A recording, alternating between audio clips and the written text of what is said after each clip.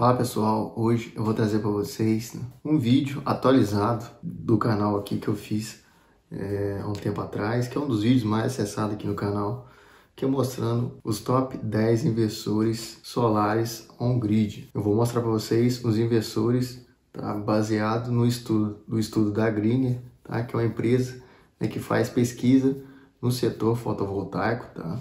Então, é, eu estou pegando simplesmente tá, dados de uma lista. Esses dados foram considerados o volume importado desses investidores. Né? Então, esse foi o critério tá, para analisar né, os principais investidores do mercado. Eu vou te dar aqui outros critérios, tá, para outros três critérios para você analisar e verificar qual é o melhor investidor para o seu sistema. Tá? Muita gente me perguntou, né, nos comentários do vídeo, né, ah, e tal inversor, e tal inversor. Ah, existem várias marcas de inversor no mercado, tá? Eu já trabalhei com algumas delas, né?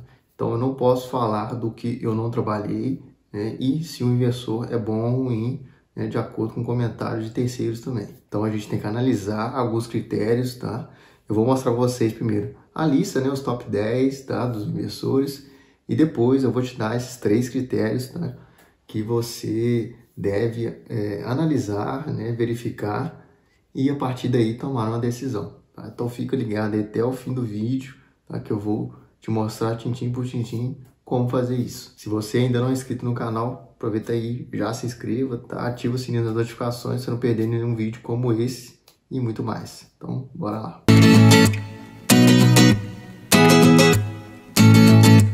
Bom, meu nome é Edgar e aqui mais um vídeo do canal Manual da Energia Solar. Hoje eu vou trazer para vocês uma lista dos top 10 inversores que foram mais importados né, no segundo semestre de 2020, tá? A gente está aí quase acabando o primeiro semestre de 2021, né? E eu peguei esse estudo da Greener, né?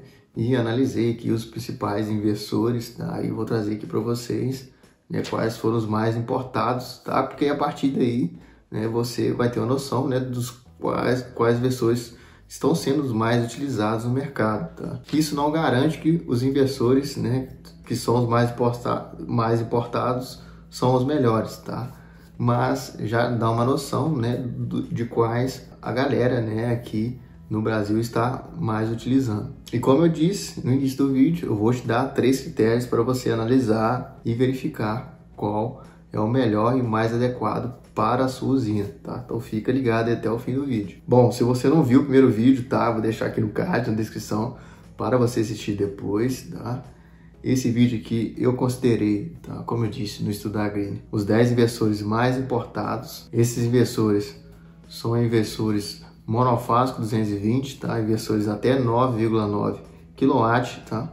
Inversores de potência maiores são, né, outras marcas, tá? Alguns é, acompanham as mesmas marcas, mas a ordem é, é diferente. Então, se você né, quer saber aí, investidores de grande porte, tá? investidores trifásicos, é, quais são os mais importados, deixe nos comentários que eu vou também estar tá trazendo aqui um vídeo é, para vocês. Bom, então chega de enrolação e vamos lá para a lista dos top 10, tá? Vou falar o inversor, tá? E o volume de importação desse inversor. Bom, na, décima posição está o inversor da PHB, tá? Ele teve um volume de 43 megawatts de potência, né, de inversor importado, tá? Eu tenho um inversor da PHB funcionando já há dois anos, foi o primeiro inversor que eu instalei, tá? É um inversor muito bom, isso por experiência minha própria. Estou falando né, do que o inversor que eu já trabalhei. O nono inversor é o inversor da AP System. A AP System, na verdade, é um microinversor, né? um inversor com uma tecnologia diferente dos inversores tipo string. Tá? É, eles apresentaram é, 58 megawatts de potência importada né, para o Brasil e são ótimos é, microinversores. Tá? Se não for o melhor, está entre é, os melhores é, inversores em geral para adquirir, para ter no seu sistema. Tá? Não é à toa que ele tem é, um custo aí bem elevado, tá? mas compensa muito ter um, um microinversor como esse. Bom, e o oitavo da lista são os investidores da Sungrow. Tá? Os investidores da Sungrow aí tem um volume de 59 megawatts é, de potência importada. Tá? São ótimos investidores também, tá? Eu tenho um inversor da Sungrow, tem mais ou menos um ano funcionando esse inversor, tá? Nunca me apresentou nenhum defeito nem nada, tá? Um, um ótimo desempenho, né? então eu recomendo muito tá? utilizar os inversores da Sungrow. E o número 7 da lista são os inversores da Canadian. A Canadian representou o volume de 60 megawatts de potência importada. Tá? São também ótimos inversores, tá? É, tem alguns amigos que já trabalharam com esse tipo de inversor, tá? Eu ainda nunca trabalhei, então não posso dizer muita coisa, tá? Só estou é, repassando o que alguns colegas de trabalho disseram, mas eu creio, né, pra, por a Canadian ser uma, uma grande empresa, né? ser muito conhecida pelos seus módulos, né, pelas suas placas, ela também vem apresentar um bom inversor. O número 6 da lista são investidores da Refusol, eles apresentaram 61 megawatts de potência importada. Eu já ouvi alguns reviews né, sobre o inversor da Refusol, tá?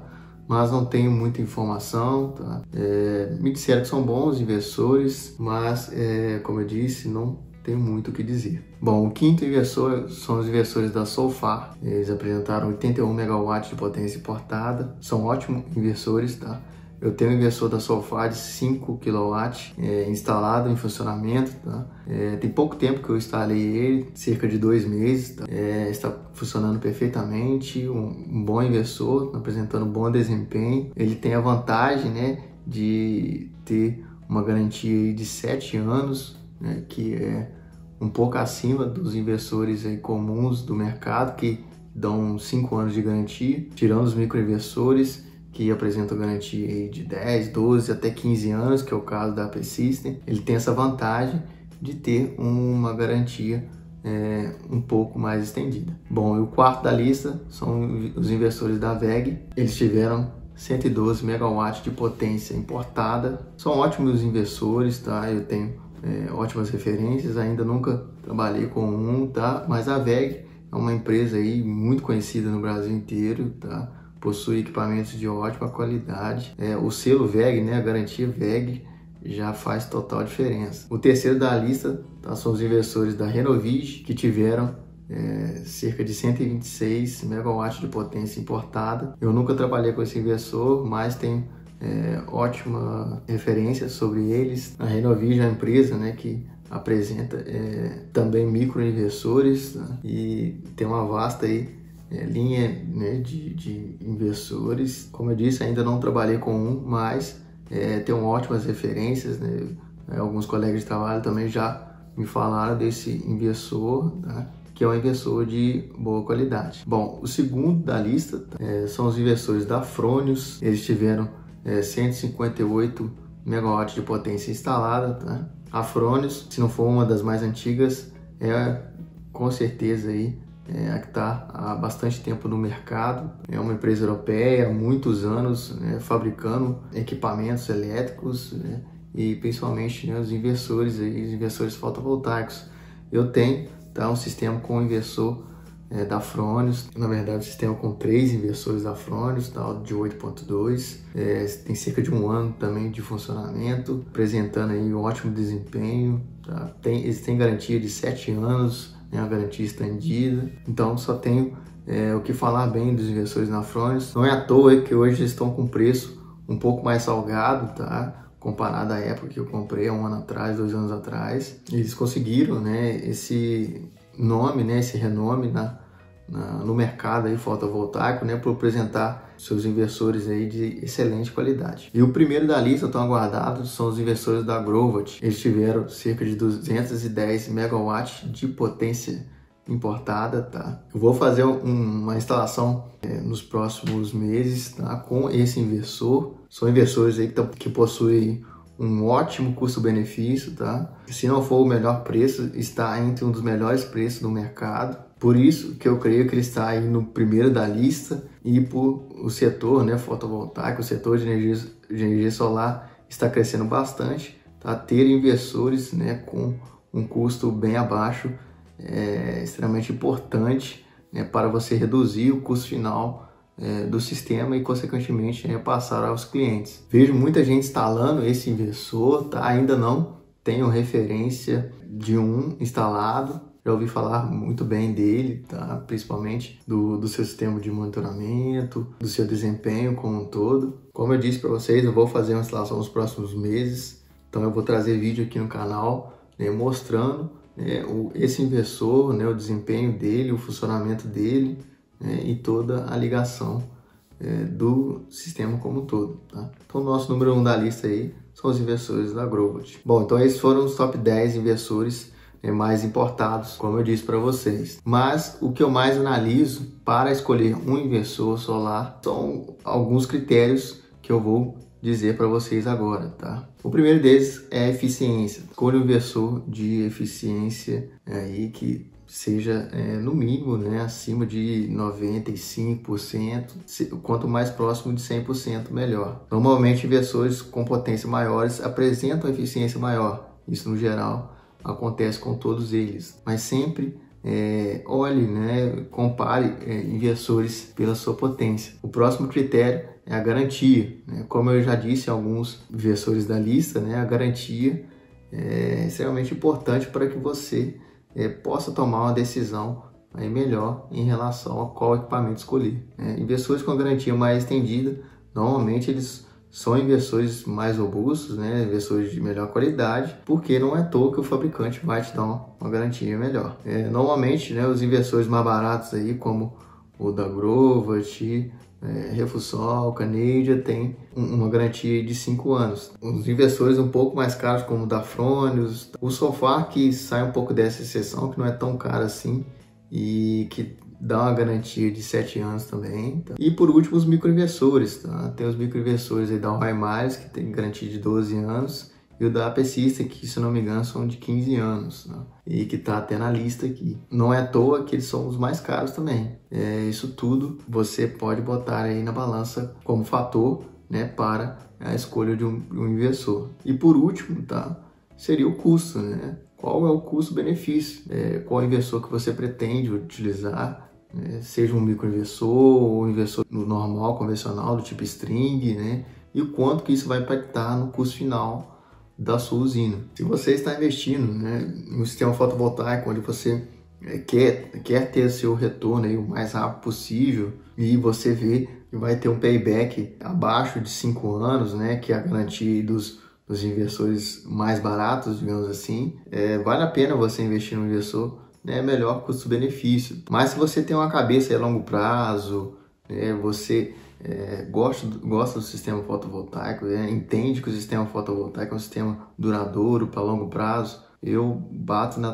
na tecla e recomendo fortemente você investir né, num inversor de uma qualidade maior ou um, um microinversor, né, que são os melhores aí, são os mais, são as melhores linhas, né, de investidores, né, que apresenta melhor performance, né, desempenho individualizado por placa, né, além de facilidade de troca ou manutenção das placas e garantia estendida. Além disso, existem também os otimizadores de potência, tá, que podem ser utilizados junto com os inversores do, do, convencionais, né, os inversores tipo string, para que você tenha um desempenho individualizado em cima da placa, que é como se fosse uma, uma tecnologia intermediária aí, né, entre microinversor e só o inversor convencional, né? Pois ele vai extrair o máximo da placa ali né, utilizando o inversor convencional, tá? Eu já fiz um vídeo explicando é, e mostrando o que é os otimizadores, tá? Vou deixar no card para vocês assistirem depois. Não vou entrar em detalhe aqui